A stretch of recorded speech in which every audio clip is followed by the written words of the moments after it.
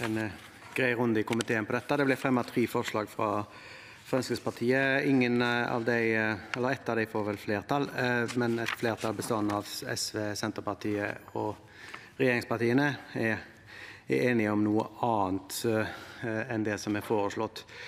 Diskusjonen om testing på grensa er jo en, en, en, gjenganger. Hva er riktig, hva skal en gjøre? I spørretimen i går så gikk det jo noen runder på hva obligatorisk testing egentlig er, noe som kan synes uklart.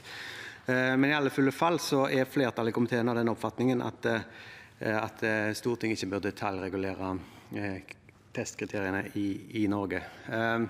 Det begrunnes mest av alt med litt frykten for uh, falske negative, som jo vi ser fra Island at det var et, problem uh, der i, i tidligere.